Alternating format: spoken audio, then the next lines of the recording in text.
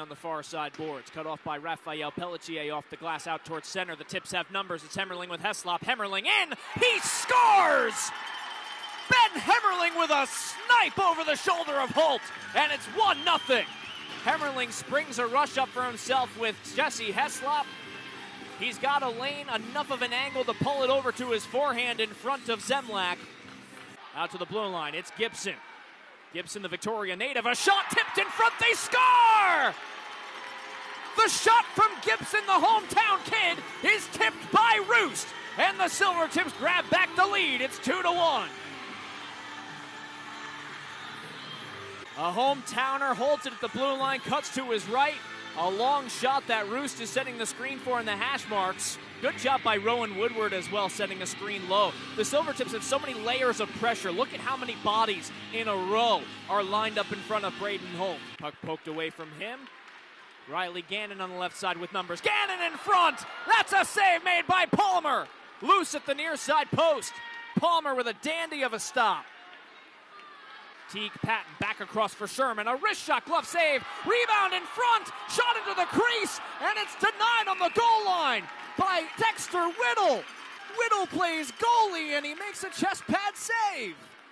And we've reached the first media timeout of the third period. Berezowski waiting in the crease in his usual office.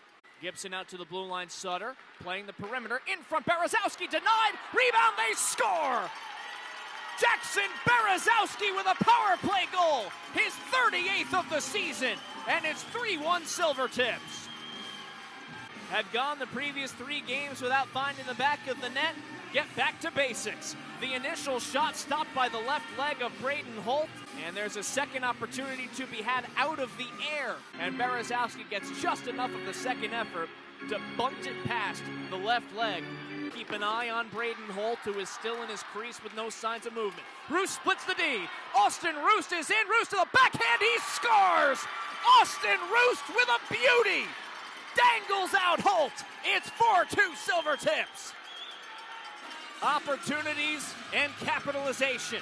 Austin Roest pounces on a loose puck in the neutral zone, cuts through the defense, works his way in, and dangles to the backhand past Braden Holt with 150 left in regulation time.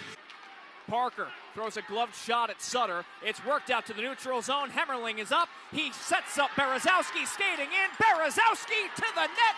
He seals the deal.